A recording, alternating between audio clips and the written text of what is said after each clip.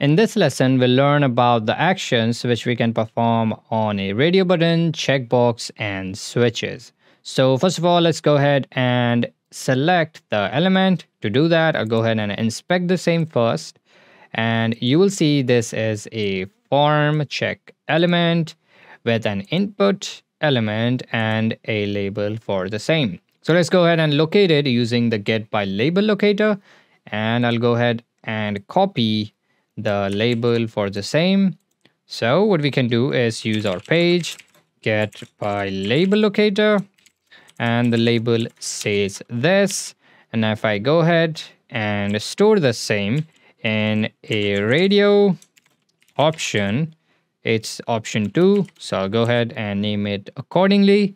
And now if I want to check the same that is I want to select this option uh, we can actually just click it but for these things, we have a separate method for the same, which is called check.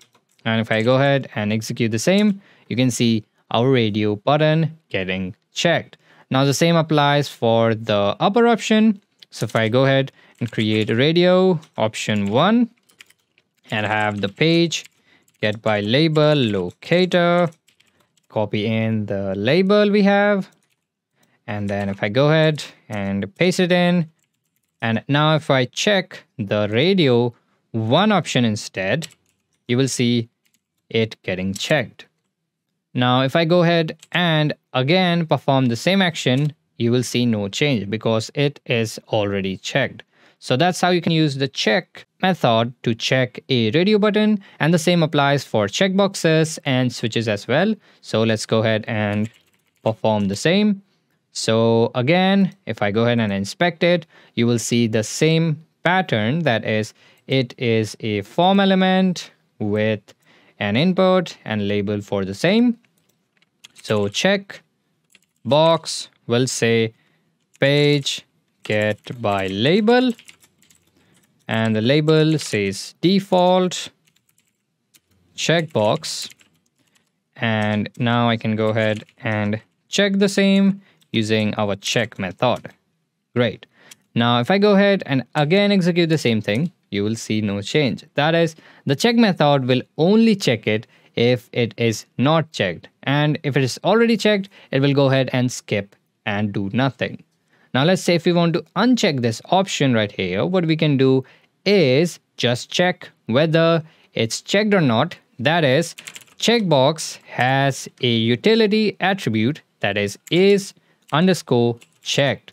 So we can do just this. You can see it goes ahead and says true. So we can just use this as a condition to set the state of our checkbox.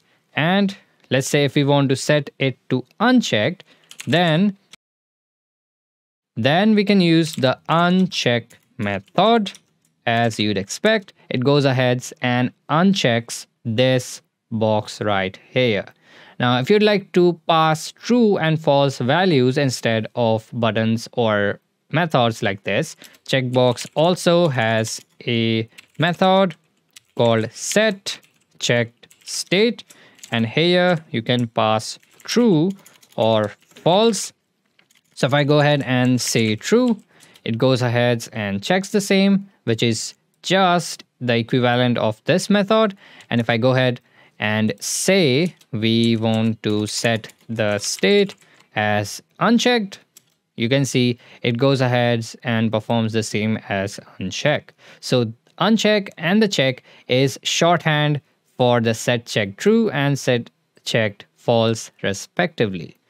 Now there's also another side of the story that is if I go ahead and try to just click the element that is the click method you can see it goes ahead and checks it. But now if I go ahead and check it again, you can see it unchecks the same. So it is just like the normal behavior you'd expect with check. That is, if I click it, it gets checked. If I unclick it, like click it again, it gets unchecked. That's why you have the check and the uncheck method to be more specific with your actions.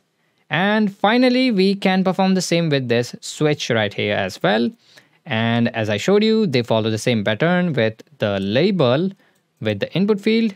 So let's go ahead and copy it and let's have it checked because we're going to uncheck it. So I'll go ahead and select our switch.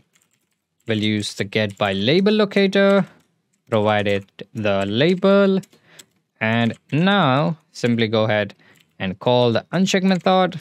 You can see it gets unchecked. We can check it as well.